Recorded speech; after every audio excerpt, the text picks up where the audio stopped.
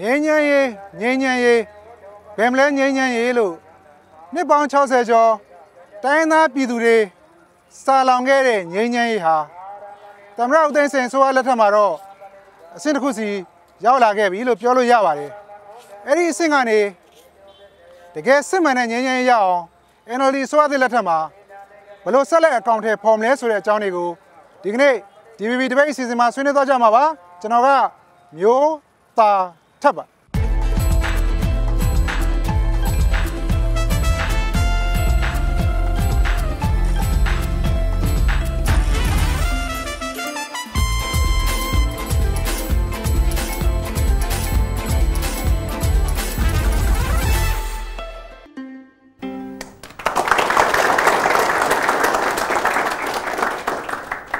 ဒီဗီဒီယိုကကြိုဆိုပါဒီနေ့ကျွန်တော်ဆွေးနွေးမယ့်အကြောင်းအရာကတော့ဒီမမှာအရေးမကြီးဘူးလို့ ဆိုမယ်ဆိုဆိုရပါမယ်ပြည်နယ်တွေတိုင်းဒေသဒေသတွေမှာအလွန်အင်တန်အရေးကြီးတဲ့ရင်းချင်းကိစ္စကိုလာမယ့်အစွဲသေးလက်ထက်မှာရအောင်ဘယ်လိုဆောင်ရွက်ကြမလဲဘယ်လိုဆက်လက်ဆောင်ရွက်ကြမလဲဆိုတဲ့အကြောင်းကျွန်တော်ဆွေးနွေးမှာဖြစ်ပါပထမဆုံးကျွန်တော်ဥဆောင်ဆွေးနွေးသူ၄ဦးနဲ့ပြည်သက်ကိုမိတ်ဆက်ပေးလိုပါတယ်ကျွန်တော်ရဲ့ညာဘက်ကပုဂ္ဂိုလ်ကတော့မြန်မာရင်းချင်းစင်တာကအဖွဲ့ဝင်ဒေါက်တာအင်ဒရူးမင်ကျုံးလင်းဖြစ်ပါတယ်ဘယ်ဘက်ကပုဂ္ဂိုလ်ကတော့အမျိုးသားဒီမိုကရေစီအဖွဲ့ချုပ်က ဘိုသုတေသနလမ်းညွန်အဖွဲ့ရဲ့အတွင်းမှုဖြစ်ပြီးတော့ Beta Institute ရဲ့ဒါရိုက်တာလည်းဖြစ်တဲ့ဦးမျိုးရန်အောင်သိန်းဖြစ်ပါတယ်။ညာဘက်ကပုဂ္ဂိုလ်ကတော့ဆရာဆရာနဲ့နိုင်ငံရေးလေလာသုံးသက်သူဦးအေးမောင်ကျော်ဖြစ်ပြီးတော့ဘယ်ဘက်ကပုဂ္ဂိုလ်ကတော့ KN ပြည်သစ်ပါတီရဲ့တွဲဘက်အထွေထွေအတွင်းမှုဗိုလ်မှူးစောလွင်ဖြစ်ပါတယ်။အားလုံးပဲမြင်ပါပါဗျ။ NCA ကိုတိုင်းသားလက်နက်ကိုင်အဖွဲ့ရှုပ်ဖွဲ့နဲ့လက်မှတ်ထိုးနိုင်ခဲ့တယ်။ရပောင်း90အတွင်း88ရက်အကြာမှာနေပြီးတော့မှညီလာခံ9ရက်ကျင်းပနိုင်ခဲ့တယ်။အဲ့တော့ကျွန်တော်တို့ညီလာခံကြီးကတော့တစ်ခုခုကိုဆွေးနွေးဆုံးဖြတ်လိုက်တာမျိုးမဟုတ်ဘဲနဲ့ဆွေးနွေးချက်တွေကို ဇောတုပ်ချုပ်ပြီးတော့နောက်အစိုးရကိုလွှဲတော့အဲ့တော့ NLD ကပါဆက်လုပ်ပါမှာလဲအစိုးရတက်ကဟုတ်ကဲ့ကျွန်တော်အမြင်မှာတော့ NLD အနေနဲ့ဒီသမရဦးသိန်းစိန်အစိုးရလက်ထက်မှာလှုပ်သွားတဲ့ဟာတွေအားလုံးကိုဆက်တဲ့ပြီးတော့သူအစိုးသူတို့လှုပ်အစိုးရဖွဲ့မဲ့နောက်9နှစ်အတွင်းမှာတတ်နိုင်တဲ့လောက်ကိုလှုပ်လှုပ်သွားဖို့လိုအအဲ့ပ်မှာပါပေါင်းလေးချုပ်ထားတယ်နောက်9နှစ်အတွင်း3နှစ်ကနေ9နှစ်အတွင်းမှာမရရအောင်လုပ်ရမယ်ဆိုတော့တကယ်ဖြစ်နိုင်မှာမလား NLD တကယ်လုပ်နိုင်မှာမလားဟုတ်3နှစ်နဲ့9နှစ်ဆိုတဲ့ကိစ္စကဆွေးနွေးတဲ့အစုဖွဲ့အာခုနှစ်ဖွဲ့ကြားထဲမှာဆွေးနွေးတဲ့အစုဖွဲ့တွေ ရဲ့အများသဘောဆန္ဒအရ3နှစ်နဲ့9နှစ်လှုပ်တာဖြစ်ပါတယ်ဒါပေမဲ့အဲ့လိုလှုပ်ခြင်းအပြင်9နှစ်အတွင်းမှာပြီးအောင်လုပ်ရမယ်လို့မဆိုလိုပါဘူးစီးနှောင်မှုမပေါ့ဘူးမပါပါလုပ်ချင်ဘူးလို့လူချင်းရင်နောက်ထပ်ဆက်ပြီးတော့နောက်ထပ်9နှစ်လဲဆက်တိုးလို့ရပါတယ်ဘာလို့လဲဆိုငင်းချမ်းလောက်တာတစ်ရက်နှစ်ရက်နဲ့တစ်နှစ်နှစ်နှစ်နဲ့ပြီးတဲ့အလုပ်မဟုတ်ပါဘူးကျေးဇူးတင်ပါတယ်ငင်းငင်းအစ်စ်မှတကယ်ရအောင်3နှစ်9နှစ်အတွင်းလုပ်နိုင်မှာပထမကျွန်တော်ပြောလိုတာကကျွန်တော်အဖို့ချက်မှာမြေသုံးအဖို့ချက်မှာတောင်းရှိသူဒူဆိုဟုတ်တယ်ဒါပေမဲ့ ကျွန်တော်ရင်းနှီးတင်ပြမယ့်စကားတွေကအဖွဲချုပ်ကမောရမမတ်ယူစီချင်ပါဘူးဆိုတော့အခုသမ္မတအောင်သိန်းစံလက်ထက်မှာဟိုငင်းချင်းဖြစ်စဉ်တစ်ခုပေါ့အစဖြစ်ခဲ့တယ်ဒါတော့အတိမပြောအောင်ဖြစ်ပါတယ်ဒါပေမဲ့ငင်းငင်းဖြစ်စဉ်လို့ပြောတဲ့အခါမှာငင်းငင်းညီလာခံလို့ပြောတဲ့အခါမှာအသင်္တရအားဖြင့်ပုံသဏ္ဍာန်တွေညီလာခံတွေတော့အများကြီးရှိခဲ့ဘူးတယ်ဆိုတော့အနှစ်သာရအားဖြင့်ကိုကျွန်တော်တို့ဘလောက်ထိအောင်ပေါဝင်ဆွေးနွေးတဲ့အစုဖွဲ့တွေကဘဝင်ကျကျင်းတဲ့ဆွေးနွေးပွဲဖြစ်မလဲဆိုတာကို ကိုတော့ကျွန်တော်စောင့်ကြည့်ဖို့လိုပါတယ်ဆက်ဆွေးနွေးပါမယ်အေးမောင်ကျော်သမနောက်သိန်းစိန်အစိုးရကတော့သူနိုင်တဲ့လောက်၄၅နှစ်အတွင်းမှာဒီလောက်ကိုသူလောက်ခဲ့လိုက်တယ်အစိုးရတက်ကဆက်လုပ်ရမယ်လို့ပြောတယ်အဲ့တော့တကယ်ငင်းငင်းအစ်စ်မှကျွန်တော်တို့လိုချင်တဲ့ငင်းငင်းရဖို့ဘာတွေလိုလဲဘယ်ချိန်မှရမလဲဘာတွေလိုလဲဆိုတော့လိုတာတွေတော့အများကြီးပေါ့နော်အချိန်လည်းအများကြီးလိုတာပေါ့ငါရဲ့ညီလာခံမှာဒီတင်ပြလိုက်တဲ့သဘောထားအမြင်တွေတော်တော်များလေးထွက်လာတယ်ပေါ့အစုဖွဲ့သီးသီးကဟိုအထူးဆန်းနေတော့မဟုတ်ပါဘူး ဒါတွေကဒီလိုပဲပြောနေတဲ့ဟာတွေပါပဲเนาะတချို့ဟာတွေဆိုရင်ဒါ62ခုနှစ်ကဟာလာပြောခဲ့တဲ့ရှမ်းမူတို့ဖက်ဒရယ်မူတို့ဒါတွေလည်းပါတယ်အဲ့တက်မတော်ဘက်ကပြောတာလည်းဒီအရင်မူတွေပါပဲ ဆိုတော့တိတ်အထူးဆန်းကြီးတွေမဟုတ်ဘူးသို့တော်လည်းဒီအခုပြောတာနည်းနည်းထူးခြားချက်ရှိတယ်။ဘာလဲဆိုတော့ကျွန်တော်တို့အမြင်တွေကိုအဲ့လိုဇွဲဝိုင်းတစ်ခုမှလိုလတ်လတ်ပုံလင်းလင်းဆွေးနွေးတယ်ဆိုတဲ့အဖြစ်ကကျွန်တော်တို့သိမရှိခဲ့ဘူး သမနောက်သိန်းစိန်အစိုးရကဒီမိုကရေစီအစိုးရလို့ဆိုတာဟုတ်ဒါဆိုပြောလို့ရယူမဟုတ်ဘူးလား ။ အဲ့လိုပဲထားခြင်းလည်းထားပါတော့။ဒါပေမဲ့လို့ဒီညီလာခံမှာကျွန်တော်ပြောတာဒီညီလာခံမှာတော့စလိုက်ပြီပေါ့ဗျာ။ဆိုတော့ကျွန်တော်တို့ကအဲ့ဒီလိုအစတွေကိုအများကြီးပေါ်လာတယ်ဒီအစတွေက။နောက် NLD ဆိုတဲ့လက်ထက်မှာဆိုလို့ရှိရင်အခုတည်းပုံများတဲ့အဖွဲ့တွေပါလာအောင်မယ်။သူတို့ပါလာရင်တက်တဲ့ပုံများတဲ့အစတွေပေါ်လာလိမ့်မယ်။ဆိုတော့ဒီအစတွေကိုကျွန်တော်တို့ကရှင်းရမှာပေါ့နော်။ဒါ NLD ဥဆောင်ပြီးရှင်းရမှာပဲအဲ့တော့ဘုံစောနေလက်ရှိအနေထားရတော့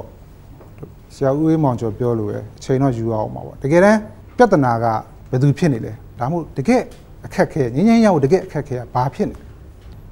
တနိုင်ငံလုံးဆိုင်ရာအပြည့်ရစာချုပ်ပေါ့ NCA မှာပါတဲ့အချက်အလက်တွေနောက်ကငင်းငင်းရေးဆွေးနွေးပွဲဖော်ဆောင်ရေးပူးရဲကော်မတီပေါ့အဲကျွန်တော် UNDPG ရဲ့ဖွဲ့စည်းပုံနောက်တစ်ခါအဲ့ဒီပူးရဲကော်မတီကရေးဆွဲတဲ့ငင်းငင်းရေးဆွေးနွေးပွဲမူပေါ် ဒါတွေအားလုံးကိုကျွန်တော်စစ်စစ်ဆက်ဆက်ကြည့်မယ်ဆိုလို့ရှိရင်တော့ပြည်တော်စုငင်းငင်းရေးညီလာခံဟာဒုတိယညောင်နှစ်ပင်ညီလာခံဖြစ်နေပုံသဏ္ဍာန်ရပုံသဏ္ဍာန်အရကောအနှစ်သာရရောအရာရောဖြစ်ပါတယ်အဲဒီငင်းငင်းရေးညီလာခံကြီးကို NLD အစိုးရတက်ကစက်ခံပြီးဆက်သွားမယ်ဆိုရင်တော့ပြည်တွင်းငင်းငင်းရေးရဖို့ဆိုတာကမဖြစ်နိုင်ပါဘူးအခုနပြောတဲ့တက်မတော်ရဲ့သဘောထားကလည်းအဓိကအဟံတာတစ်ခုဖြစ်ပါတယ် ဒါကြောင့်တက်လာတဲ့ NLD အစိုးရသစ်ဟာ NCA အစ်စ်ပူးရဲကော်မတီအစ်စ်မြန်မာငင်းငင်းရေးစင်တာအစ်စ်နိုင်ငံရေးမူပေါင်းအစ်စ်နဲ့ငင်းငင်းရေးကိုတကယ်အာမခံနိုင်မယ်2008ခုနှစ်ဖွဲ့စည်းပုံအခြေခံဥပဒေပြင်ဆင်ရေးကိုအဓိကထားတဲ့ပြည်တော်စုငင်းငင်းရေးညီလာခံအစ်စ်တွေလှုပ်ဆောင်သွားရမှာဖြစ်ပါတယ်ဒေါက်တာအန်ဒရူဒေါက်တာအန်ဒရူတို့ ဒေါက်တာအန်ဒရူတို့လုတ်ခဲ့တဲ့မြောက်ဦးစောလွင်ကတော့ဒုက္ခစပြီးပြီအကုန်လုံးအစ်စ်ပြန်လုပ်ရမယ်ဟုတ်လေဆရာဦးစိုးလွင်ကငင်းချိုင်းလုတ်ဖြစ်စဉ်တစ်လျှောက်ကျွန်တော်က2021ကနေဒီနေ့အထိပါလာသူကတခါမှအစည်းအဝေးမတက်တော့သူများပြောတဲ့စကားပဲနားယောင်သွားတယ်ထင်တာပေါ့ဘာလို့လဲဆိုတကယ်အဓိကက NCA ဆိုတာလက်မှတ်ထိုးတဲ့ရှစ်ဖွဲ့နဲ့အစိုးရနဲ့လုပ်တာမဟုတ်ဘူးတိုင်းရင်းသားလက်နက်ကိုင်အဖွဲ့အစည်း16ခု NCCT နဲ့ UPWC နဲ့ညှိပြီးတော့ ရယူထားတဲ့သဘောတူစာချုပ်နောက်ပြီးတော့မထိုးသေးတဲ့အဖွဲ့တွေကိုလည်းအစိုးရကနောက်တစ်ခါထိုးနိုင်ဖို့အတွက်လမ်းဖွင့်ပေးထားတယ်အဲ့တော့ NCA ရဲ့အနှစ်သာရဟာတိုင်းရင်းသားတွေလူလားချက်အားလုံးကိုထင်ဟပ်ပေါ်လွင်တယ်လက်မှတ်ထိုးခြင်းမထိုးခြင်းဆိုတာသူတို့ရဲ့အကြောင်းအရာနဲ့ဆိုင်တယ်မူပေါင်းကိစ္စက NCA နဲ့မတူဘူးမူပေါင်းကကျွန်တော်တို့နောက်လာမယ့်အစိုးရအတွက်အခက်အခဲမဖြစ်အောင်ဆိုပြီးတော့ဒီမူပေါင်းရေးဆွဲတဲ့လူတွေကပြင်လွယ်ဟိုပါပေါ့ပြင်လွယ်ပြောင်းလို့ပြောင်းလဲဖြစ်အောင်တမင်တက်တက်ကိုလုပ်ပေးထားတာ အဲ့တော့မူပေါင်းကပြောင်းလို့ရတယ်ဒါပေမဲ့ NCA ကပြောင်းလို့မရဘူးဒါပေမဲ့အဲ့လိုမူပေါင်းလုတ်တဲ့အတွက်ကိုဦးမျိုးရံအောင်တင်ရောဘုံမှုစောလွင်အောင်ပြောနေပြီပုံသဏ္ဍာန်ရောအနှစ်သာရရောညောင်လမေညီလာခံနဲ့တူနေတယ်လို့ပြောနေတယ်ဟုတ်ပါပဲညောင်နှပင်ညောင်နှပင်ညီလာခံကအခြေခံဥပဒေကြီးဖို့ဒီပြည်ထောင်စုငင်းလူချိုများင်းကြီးပွဲမစီတဲ့ညီလာခံမျိုးဖြစ်နေတယ်ဟုတ်ဒီပြည်ထောင်စုငင်းချိုင်းညီလာခံကငင်းချိုင်းကြီးတိဆောက်ဖို့ချင်းဥပဒေကြီးမဟုတ်ဘူးလားဆရာအဲ့တော့ဟိုကျွန်တော်ကတစ်ခုတော့ဖြတ်ပြောခြင်းတယ် NCA အပိုက်22ဂါကြီးမှာပဲဖြစ်ဖြစ် နိုင်ငံရေးဆွေးနွေးပွဲမူပေါင်းမှာပဲဖြစ်ဖြစ်တစ်ဂါကြီးမှာပဲဖြစ်ဖြစ်ဘာပါလဲဆိုတော့ဖွဲ့စည်းပုံအခြေခံဥပဒေရေးဆွဲရေးကိုငင်းငယ်ရေးညီလာခံရဲ့ဆုံးဖြတ်ချက်တွေပေါ်မှာအခြေခံပြီးတော့လှုပ်ထုံးလုံနည်းနဲ့ညီလောက်ရမယ်လို့ပြောတော့ဖွဲ့စည်းပုံအခြေခံဥပဒေရဲ့ပုံမှန်436ကိုပဲအကာအကွယ်ပေးသလိုဖြစ်တယ်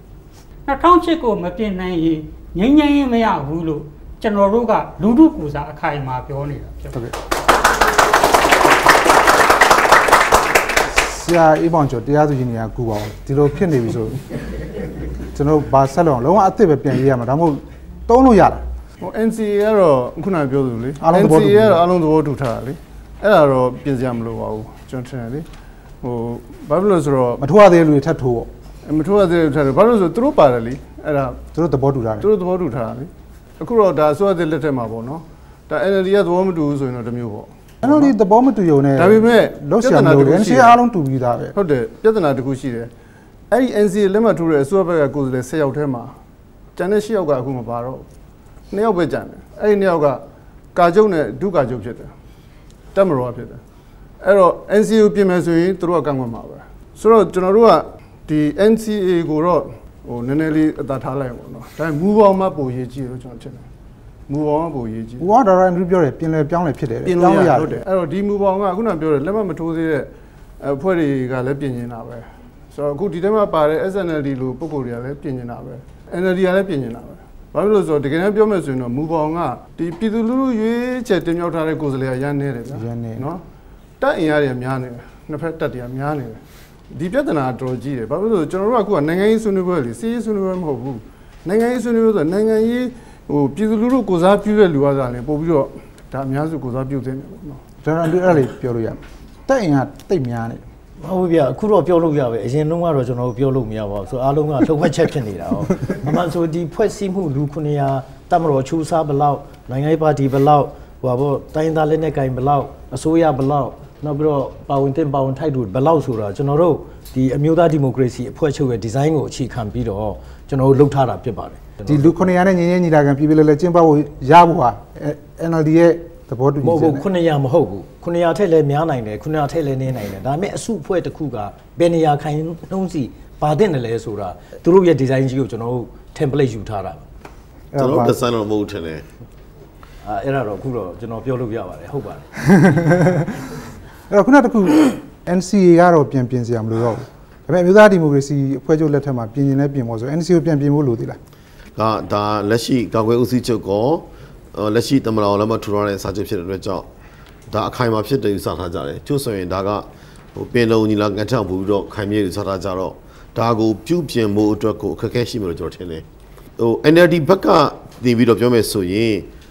လက်တွေ့နဲ့ပြည်ရင်းကြမှာရအောင်သွားမှာဖြစ်တယ်ဆိုတော့လက်တွေ့ဖြစ်နေတာတော့ကျွန်တော်ညင်းလို့မရအောင် ဒါနဲ့ဒီအပေါ်မှာဘွေမကျစရာကြီးတော့ကျွန်တော်ရှိတယ်အဲ့ဒီဟာတွေကိုတော့ပြပြင်သွားမယ်လို့ကျွန်တော်မြင်တယ်ဟုတ်ကဲ့အဲ့တော့ဒေါက်တာအန်ဒရူးကပြောလိုက်ပြီဦးစောလွင်နဲ့ဆရာအေးမောင်ကျော်ဒီဒီဇိုင်းက NLD ရဲ့ပုံစံပေါ်မှာဒီညီလာခံကိုအဆင်ပြေအောင်ကျင်းပနိုင်ခဲ့တယ်ပေါ့အဲ့လိုပြောင်းဖွင့်ပြောလိုက်ဦးပြောလို့ရဆိုတော့ပြောပြီးဆိုတော့အဲ့တော့အစိုးရတက်ကဆက်ပြီးအကောင့်ထဲပေါ်မှာမဟုတ်လားဒီညီလာခံကိုသူတို့ချခဲ့တဲ့ပုံစံကျွန်ပေါ့တော် NLD template မဟုတ်ဘူးလို့ပြောရတော့ကျွန်တော်ပုံသဏ္ဍာန် NLD template ကိုကျွန်ဒီတော်မှာသိတေးတယ်စရာသိတဲ့လူရှိနေတယ်လေကျွန်တော်ကိုယ်တိုင်ဆွဲခဲ့တာ ကဲအဲ့ဒါဆိုဘယ်လိုလုပ်ကြမလဲအဲကျွန်တော်ကတော့တခုဒီမှာနည်းနည်းဖြည့်ပြောချင်တာပေါ့နော်နိုင်ငံရေးမူပေါင်းအပိုက်6မှာပါတယ်တက်လာတဲ့လူတွေအားလုံး85ရာခိုင်နှုန်းလုံးကြော်ထောက်ခံတာဆုံးဖြတ်ပြီးပြင်လို့ရတယ်အဲ့ဒီနိုင်ငံရေးမူပေါင်းအပိုက်လေးကိုကြည့်တဲ့အခါကျတော့900မှာတက်မတော်သားက150ရာခိုင်နှုန်း20ကျော်နေပြီချက်လက်တွေအခိုင်အမာနဲ့ ပြောနေပြီအပိုက်ဘလောက်ကအပိုက်ဘလောက်ကအပိုက်ဘဥပဒေလောက်သမားဆိုတော့ तू ကဟိုဟာဒီဟာပေါ့နော်လိုက်ကောက်တတ်တာပေါ့ကျွန်တော်လည်းဥပဒေသမားကျွန်တော်တို့ကောက်တတ်တာပေါ့အဲ့တော့ NCA ဟာဥပဒေသမားတစ်ယောက်အနေနဲ့အဲ့ဒါ agreement ပါမူပေါင်းက framework ပါ framework ပြင်လို့ရတယ်အရေးကြီးတာအခန်းတဲ့အပိုက်တစ်ကကြီး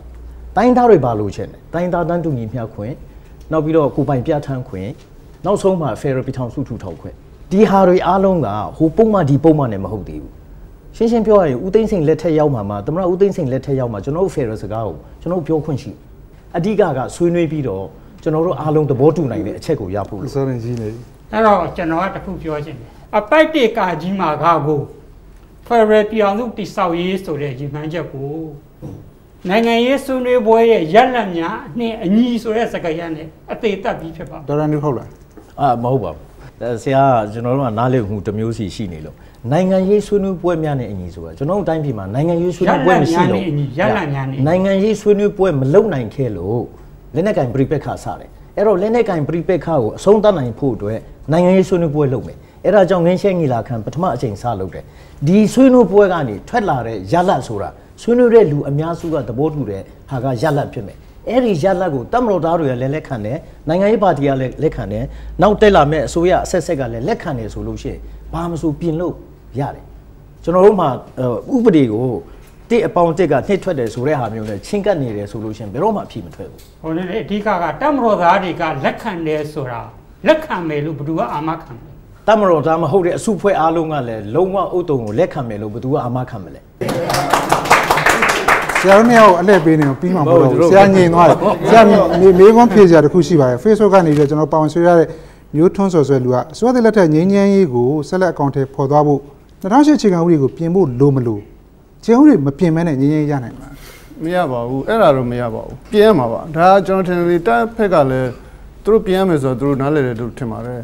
နောက်တစ်ခုကတော့ဗာလဲဆိုတော့အခုကျွန်တော်တို့အစုဖွဲ့ခုနှစ်ဖွဲ့ဖြစ်ဖြစ်ငါးဖွဲ့ဖြစ်ဖြစ်ပေါ့နော်သုံးဖွဲ့ပဲဖြစ်ဖြစ်ပေါ့ဘယ်လိုပဲဖွဲ့ဖွဲ့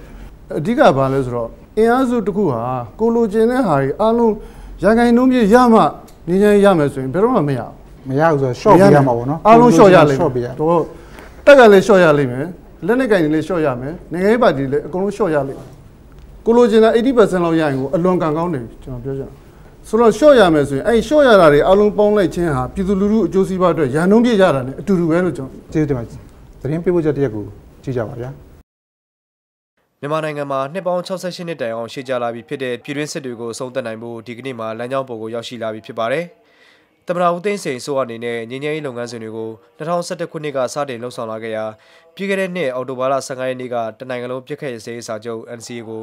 တိုင်းသားလက်နက်ကိုင်အဖွဲ့16ဖွဲ့တွေက10ဖွဲ့နဲ့စတင်ချုပ်ဆိုနိုင်ခဲ့ပါတယ်။အဲဒီကနေတဆင့်ပြည်တော်စုငင်းငယ်ညီလာခံကြီးကို2016ဇန်နဝါရီလ12ရက်နေ့ကနေ16ရက်နေ့ထိနေပြည်တော်မှာ9ရက်ကြာကျင်းပသွားခဲ့ပါတယ်။ညီလာခံကိုကိုယ်စားလှယ်စုစုပေါင်း900ပါဝင်တဲ့စုဖွဲ့9ဖွဲ့နဲ့ကျင်းပခဲ့တာဖြစ်ပါတယ်။သို့တော်လည်း လက်ရှိငင်းငယ်ညီလာခံမှာအဓိကအင်အားကြီးတိုင်းသားလက်နက်ကိုင်အင်အားစုတွေမပါဝင်သလိုပြည်သူကိုစားပြုအားနေတဲ့အတွက်ဒါဟာဟန်ပြတာဖြစ်တယ်ဆိုတဲ့ဝေဖန်သုံးသပ်မှုတွေရှိနေပါတယ်။ညီလာခံကနေဆွေးနွေးခဲ့တဲ့ဆွေးနွေးမှုတွေကို NLD ဥဆောင်တဲ့ဆိုအသစ်တန်လွှဲပြောင်းပေးသွားမှာဖြစ်ပါတယ်။အဲ့ဒီလိုလွှဲပြောင်းတဲ့အခါမှာညီလာခံမှာသဘောတူထားတဲ့အမျိုးသားအဆင့်နိုင်ငံရေးဆွေးနွေးပွဲတွေနဲ့ငញ្ញရေးညီလာခံကိုအနည်းဆုံး၃နှစ်ကနေအများဆုံး၅နှစ်အတွင်း အောင်မြင်အောင်ကြိုးပမ်းဆောင်ရွက်ရရန်ဆိုတဲ့အချက်ပါရှိပြီးဒါနဲ့ပတ်သက်လို့ NLD အနေနဲ့သိရှိခဲ့ခြင်းမရှိလို့သဘောမတူနိုင်ကြောင်းပြောဆိုထားပါတယ်။ထူးခြားချက်အနေနဲ့ NCA လက်မှတ်ထိုးခဲ့တဲ့အချိန်နဲ့ညီလာခံကျင်းပနေတဲ့အချိန်မှာပါအပြစ်ရဲ့လက်မှတ်မထိုးတဲ့တိုင်းသားလက်နက်ကိုင်ဖွဲ့ချုပ်နဲ့တက်မတော်ကြားတိုက်ပွဲတချို့ဖြစ်ပွားခဲ့ပါတယ်။ဒါကြောင့်ငြိမ်းချမ်းရေးလုပ်ငန်းစဉ်တွေကိုလှည့်ပြောင်းရယူသွားမယ်ဆိုအပ်တဲ့အနေနဲ့တက်မတော်နဲ့တိုင်းသားလက်နက်ကိုင်တွေကြားဘလို့ပေးယူလုပ်ပြီးစစ်မှန်တဲ့ငြိမ်းချမ်းရေးကိုအကောင့်ထဲပေါ်သွားမလဲဆိုတာစောင့်ကြည့်ရမှာဖြစ်ပါတယ်။